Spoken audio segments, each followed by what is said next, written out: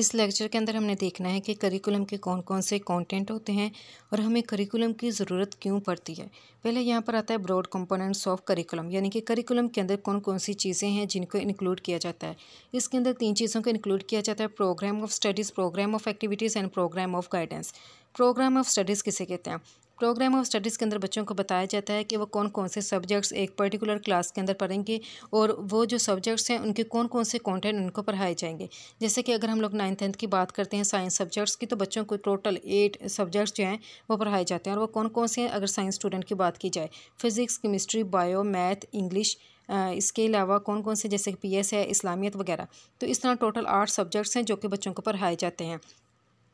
Program of activities. Program of activities के अंदर बच्चों को बताया जाता है कि कौन कौन सी एक्टिविटीज़ उनको परफॉर्म करवाई जाएँगी, जो कि उनके कोर्स कंटेंट के रिलेटेड होंगी।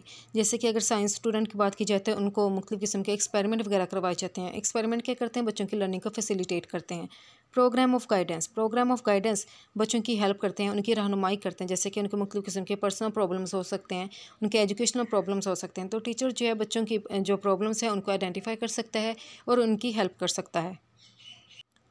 Need of curriculum. करिकुलम की हम लोगों को ज़रूरत क्यों पड़ती है? पहली नीड है अचीवमेंट ऑफ़ एजुकेशनल एम्स यानी कि तलीमी मकासद का हासिल करना।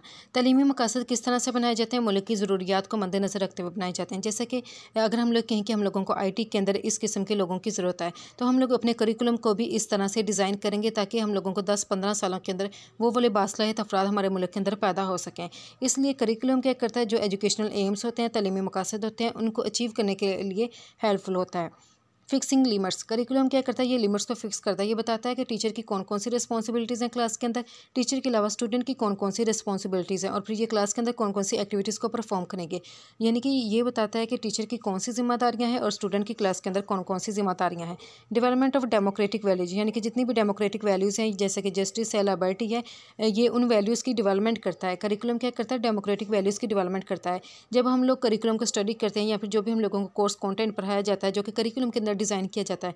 उससे हम लोगों को पता चलता है कि हमारे माशरे के अंदर कौन कौन से हमारे हकूक़ हैं और इस माशरे के कौन कौन से असूल हैं और हम लोग उन्हीं असूलों को ही फॉलो करेंगे और उन असूलों को हम लोग नहीं तोड़ेंगे। तो जब भी हम लोग करिकुलम को स्टडी करते हैं या उसके जो कोर्स कॉन्टेंट को पढ़ते हैं तो इससे हमें पता चलता है कि कौन कौन सी डेमोक्रेटिक वैल्यूज़ हैं जो कि इस कंट्री के अंदर एग्जिस्ट करती हैं।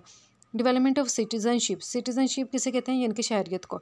करिकुलम क्या करता है? ये सिटीज़नशिप की डेवलपमेंट के लिए अहम होता है।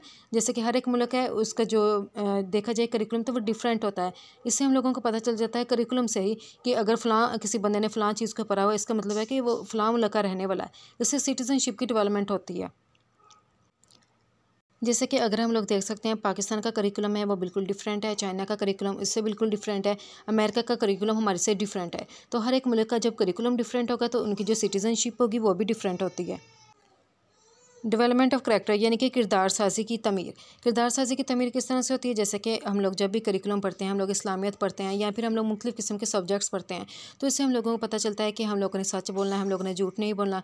हमें इंसाफ के बारे में पता चलता है, हमें पता चल जाता है कि हमारे माशरे के अंदर कौन कौन से असूल हैं। तो जब हम लोग इन सारे असूलों को सीख लेते हैं तो इससे एक बंदे का जो करेक्टर है, उसकी जो पर्सनैलिटी है उसकी डेवलपमेंट होती है।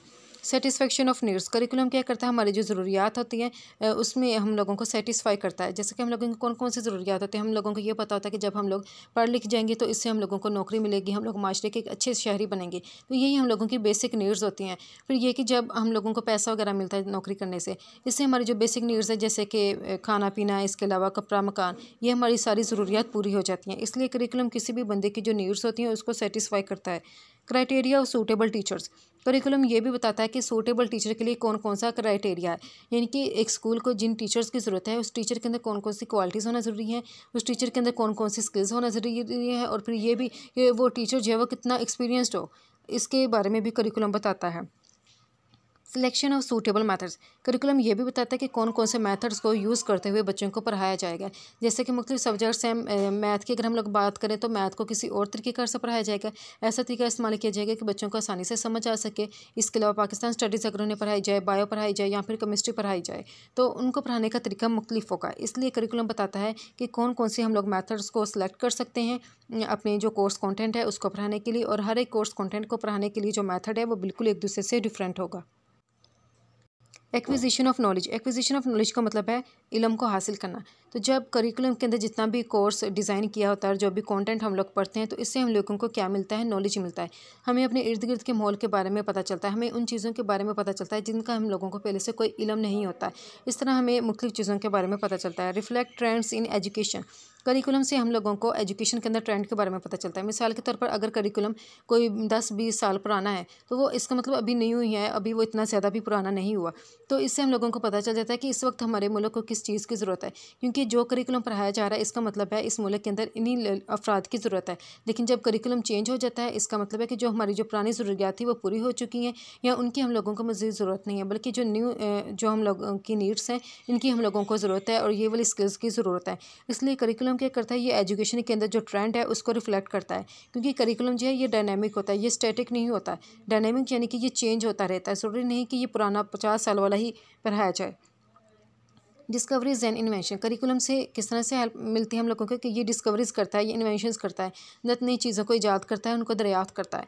ऐसे ही होता है कि जैसे कि रिसर्च के अंदर हम लोग देखते हैं तो वहाँ पर बच्चे रिसर्च करते हैं प्रॉब्लम्स का सोल्यूशन फाइंड आउट करते हैं। इस तरह वो नई चीज़ डिस्कवर करते हैं, उनको इन्वेंट करते हैं।